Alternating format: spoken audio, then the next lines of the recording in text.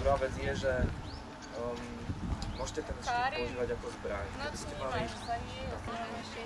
keď ste jazdili, tak na jazde nebolo a samozrejme. Ale sú celkom pohodlné. Oni sú pohodlné, len si treba zvykať. Ale dosť pomaly sa tak tam chodí, hlavne po betóne.